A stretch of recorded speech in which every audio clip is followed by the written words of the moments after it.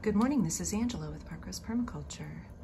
Still chilly here in the mornings in Portland, Oregon in mid-April.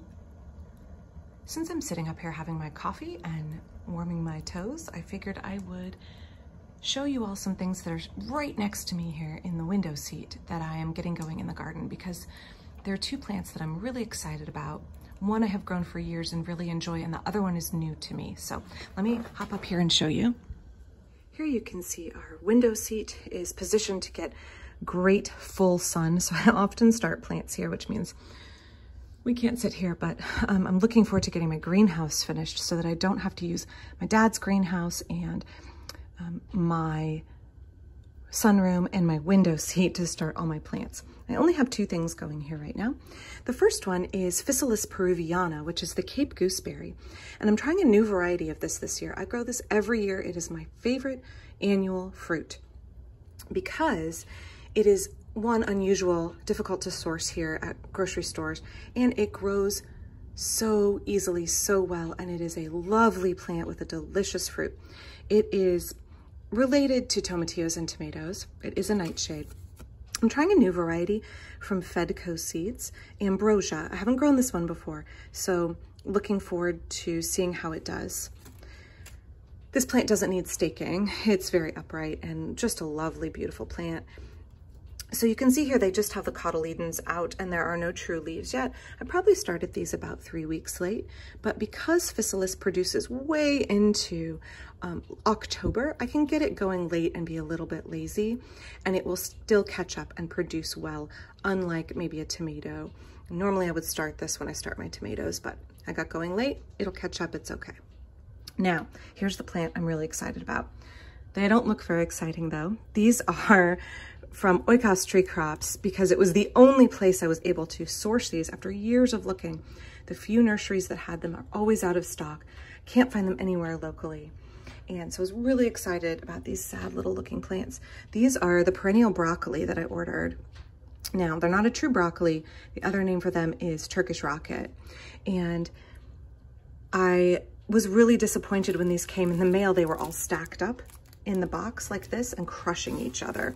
So what I found is they each had two plants in each pot and each had one set of seed leaves and one set of true leaves and all of the true leaves were crushed. But I've had them in the windowsill here by the wood stove where it's warm. And you can see I'm getting new true leaves. Perennial broccoli, also known as Turkish rocket, is Bunias orientalis. It is actually not a true broccoli but it produces broccoli-like florets that um, are small, much more like a broccoli rabe, and you can pick dozens of them off one plant. It is grown because it is such a hardy, disease-resistant, resilient perennial food crop. Now, it has a cabbage-like flavor, but it lacks, well, when I've enjoyed it, it's lacked the bitterness of some of the cabbage varieties. Now, the shoots, the stems, the leaves, and the florets are all edible. As the season goes on and the leaves mature, they become too fibrous to really enjoy. So this plant grows in zones four through eight and is considered invasive in some places, so just check where you are to make sure it's legal to grow it. And it is difficult to propagate from cuttings, so it can be a hard plant to source. But once established, it has a deep taproot, is considered a dynamic accumulator, although I personally need to do some research on that because I've just heard it spoken of as a dy dynamic accumulator, but um, haven't seen any data.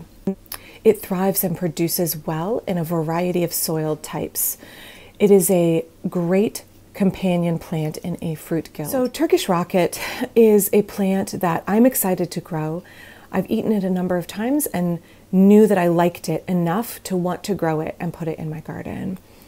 I am focused more on the fact that it is a perennial broccoli substitute that is not bothered by green aphids or the cabbage looper butterfly, which is a huge problem here and why I only grow annual broccolis in the winter when the butterflies are not out.